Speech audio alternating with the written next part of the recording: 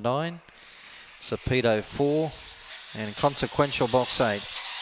Futurity final, race eight.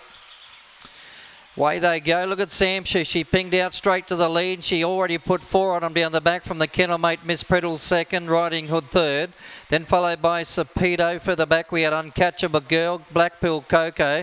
And Consequential's back last up in front. Sam is the leader. Miss Preddle joins her. Then followed by in third Sapedo. Then followed by Blackpill Coco. But Sam Shoe not done. We've found another gear and dashed to the front again and won.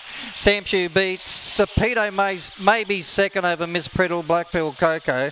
Then followed by Inconsequential, Riding Hood. And Black, an uncatchable girl last in. So uh, easy winner Sam Shoe takes out the Futurity, not as quick as last week, 29.03. Early split 13.83, 15.20. Now four Graham second Sapedo from number one, Miss Priddle, 7, 4 and 1. Yeah, she very impressive here last week, Sam Shoe. She makes it two from two over the journey, trained by Rhonda Essery. Four seconds Sapedo, Andrew Wooler. One third, Miss Preddle, Rhonda Essery, number nine, Black Pill Coco, fourth.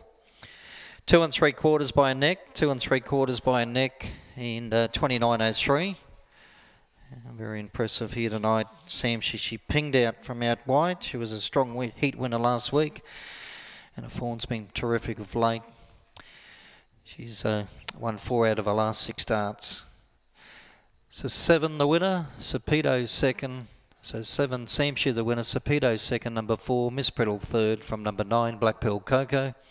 And uh, 29.03 is the run, two and three quarters by a neck. 13.83 the first split, 15.20 the run home. And numbers in the futurity final is uh, 7, 4, 1 and 9, 29.03.